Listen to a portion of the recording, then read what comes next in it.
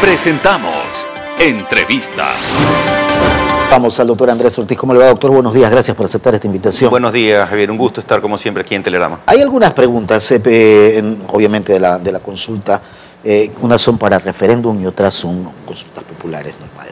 Eh, dentro de, de este tema está el de la reelección indefinida y dice, para garantizar el principio de la alternabilidad, ¿está usted de acuerdo con enmendar la Constitución de la República del Ecuador para que todas las autoridades de elección popular puedan ser reelectas una sola vez recuperando el mandato de la Constitución de Montecristi, entre otras cosas, pero básicamente es eso. ¿Cuál es la lectura ahí entonces, doctor?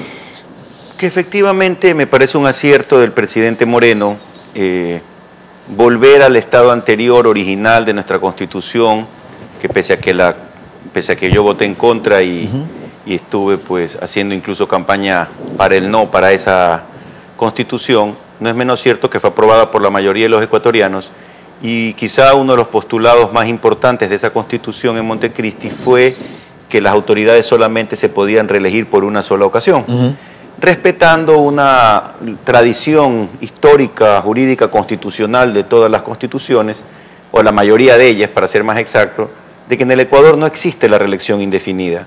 Ese argumento de que no es reelección indefinida, sino una postulación eh, realmente causa hilaridad, ¿no? Eh, eh, suena una broma de mal gusto y broma de mal gusto que además fue conestada por la Corte Constitucional a través de una sentencia que realmente causa hilaridad también, pretendiendo justificar lo injustificable. Es decir, esto de que no es reelección indefinida, sino que es una postulación y que es el pueblo el que tiene que decidir en las urnas si lo reelige o no, es una...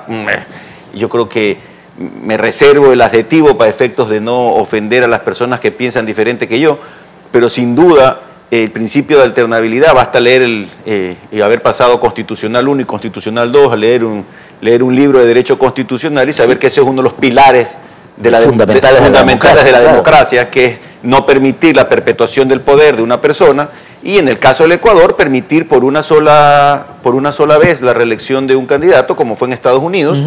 En Estados Unidos había la reelección indefinida y se dieron cuenta de lo pernicioso que fue ese sistema, me parece que fue Franklin Delano Roosevelt que estuvo casi cuatro veces en el ejercicio del poder y él mismo se dio cuenta que eso era nocivo para la democracia. Entonces me parece un acierto del presidente Moreno, hay que votar sí, me parece muy bien que tenga efectos retroactivos para evitar que personas o personajes como Rafael Correa regresen al poder, porque definitivamente no hay ninguna regresión de derechos, esto no tiene dedicatoria, simplemente es volver a lo que decía Montecristi, toda vez que la enmienda constitucional que sí alteró eh, esta, esta norma constitucional debió haber pasado por una asamblea constituyente. Y no por una enmienda y no por una enmienda constitucional. Lo ocurrido lo del por 2015. Lo tanto, lo del 2015. Por lo tanto, me parece un verdadero acierto recoger esa eh, situación original que además fue votada mayoritariamente por los ecuatorianos y vamos a ver ahora cuando esa pregunta seguramente tenga más del 80% de aceptación del Ecuador. Yo creo que es poner las cosas en su sitio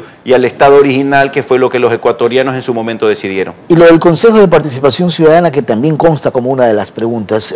A juicio suyo, doctor, ¿tiene que desaparecer el Consejo de Participación Ciudadana y Control Social o cesar en las funciones a los actuales miembros y saber o buscar el mecanismo de cómo elegir a los nuevos? La pregunta está muy bien encaminada porque si se hubiera preguntado la desaparición o extinción de este organismo, hubiera sido claramente una situación que hubiera obligado a hacer una Asamblea Nacional Constituyente porque se estaba alterando la estructura del Estado. Eh, la pregunta me parece que es muy válida eh, en el sentido que tiene que eh, estas personas, nos están preguntando a los ecuatorianos, si queremos que estas personas se vayan a su casa, yo estoy seguro que el 85, 90% de los ecuatorianos diremos que sí, eh, nos están preguntando si autorizamos a que se nombre un consejo transitorio, transitorio para que designe a los nuevos. para que designe a los nuevos. yo estoy seguro que igual tendrá mayoría y además que se permite examinar a las, el desempeño de, estas, de las autoridades que sean nombradas y en su día, si es que eh, eh, se los evalúa, poder incluso destituirlos o cesarlos en sus funciones. Porque claro, yo creo que los ecuatorianos, y de alguna u otra manera, con estas autoridades de control, entonces hay muchos cuestionamientos, y prueba de ello lo, lo del ex contralor Polit, eh, lo del ex fiscal Chiriboga, siempre hubo cuestionamientos. Y, siempre se dijo también que era el Consejo de Participación Ciudadana que de manera más idónea se elegía a cada uno, a cada uno de estos autoridades de control. Resulta que la ciudadanía no soporta ver situaciones como las que estamos eh, observando con, estas otras autoridades. Es que todo es un eufemismo en la Constitución de Montecristi. ¿Por, ejemplo, se llama gobiernos autónomos descentralizados. Los famosos municipios. Los GATS, los municipios. Uno escucha esa expresión y uno cree que está en Alemania. gobiernos autónomos descentralizados, pero esto es la panacea de la autonomía. Y no hay cosa más falsa, pues no, ha habido gobierno más centralista en la historia del Ecuador que el de Rafael Correa. Pues. Eh, entonces, cuando uno habla de Consejo de Participación Ciudadana, uno y control social. Y control social, uno cree que es la, el pueblo, la masa, la que se empodera y entra a participar de este Consejo y decide nombrar sus autoridades. En, en la forma es espectacular pero nos dimos cuenta que esto era una sucursal de Carondelet, pues. Lo que terminó siendo fue poner a sus amigos, a sus adláteres, a cubrirse los puestos entre ellos, a tener un contralor, que es una vergüenza para el Ecuador tener un contralor enjuiciado por recibir dinero de empresas extranjeras. Entonces yo me pregunto, ¿el Ecuador está dispuesto a permitir que esas personas que al final del día fueron nombradas por el Ejecutivo prácticamente, bajo el eufemismo de un Consejo de Participación Ciudadana que jamás se dio, porque todos los entes que conformaban este Consejo al final del día respondían directa o indirectamente al gobierno del presidente Correa. Entonces me parece que es saludable, necesario, justo para devolverle la decencia a este país de que esas personas se vayan a su casa, que, que el presidente nombre a personas de alto nivel moral eh, y académico y que finalmente este mecanismo de que decidamos que sean electos por elección popular, no hay fórmula perfecta. Es decir, no, no, me parece que es una salida interesante frente a un grave problema, que es para que no haya discusión que estos miembros del Consejo de Participación, a través de los requisitos que establece el anexo, puedan ser elegidos por los ecuatorianos y ahí sí, claramente, no es que se va a politizar, sino que se dan realmente personas que vienen de la participación ciudadana porque nos empoderan a los ciudadanos para elegir a las personas que conformen no a esas se convertirá en una cuestión política que por partido político se pueda decidir a una autoridad de control. No, está prohibido expresamente en el anexo que las personas miembros que, se postulen no pueden haber pertenecido al Consejo. Que por si acaso es una norma muy parecida a la que está ahora, pero miren ustedes cómo Correa hizo para finalmente tener gente eh, cercana al poder, cercana, al, movimiento cercana al movimiento político para recibir instrucciones de, de Carondelet. Y la otra, doctor, que también eh, generó mucha o genera mucha expectativa, es eh, más claro el de la ley de plusvalía. ¿Se tiene que eliminar eso?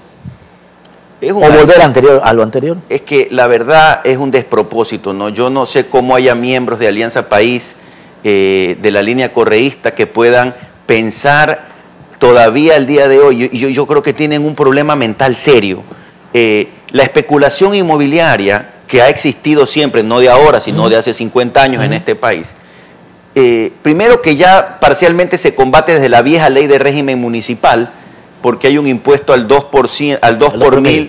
eh, por los solares no edificados, sino que además el, aumento de la plusvalía al 75% del impuesto a la plusvalía o de las ganancias extraordinarias, que se llama, es que solamente es cuestión de coger las estadísticas, o sea, no hay que saber, o sea, hay que ser estudiante de colegio, no universitario, para leer una estadística y darse cuenta que el solo anuncio del impuesto a la herencia, me acuerdo, y de las plusvalías, causó un impacto en el Ecuador que lo obligó al presidente Correa ante el desastre económico que se estaba viniendo de retirarla.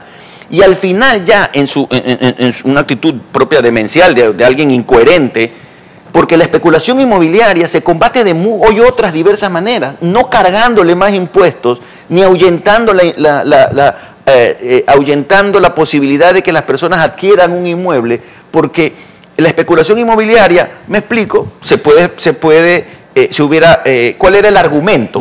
que simple y sencillamente habían personas que conocían de terrenos, de obras de aeropuerto de Quito, aeropuerto de Guayaquil, y que se habían beneficiado y que el entonces, muy bien, dicta una ley con efectos retroactivos. Para esos casos. Para los casos del puerto, de los aeropuertos que se han beneficiado y persiga a esas personas. Pero ¿qué especulación inmobiliaria puede haber, no sé, pues en Gallegos Lara, en Gómez Rendón, eh, en la Alborada, que hay terrenos de 100 metros cuadrados? No hay ninguno ¿Qué especulación estamos hablando?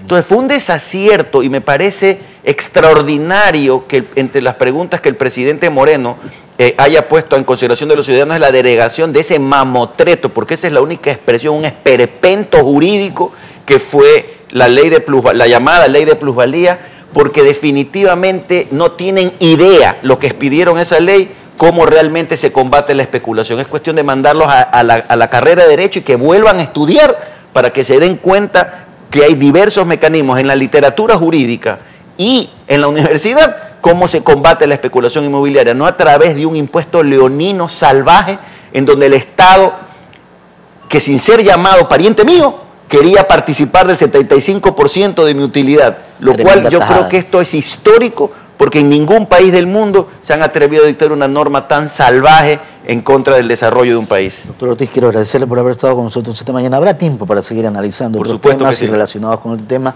porque debe, debe quedar claro también una situación para la ciudadanía, que una cosa es el referéndum y lo otro eh, es la, consulta, la consulta, y que requiere, pues, obviamente, de reformas en la Constitución en algunas preguntas. Posteriormente, Posteriormente.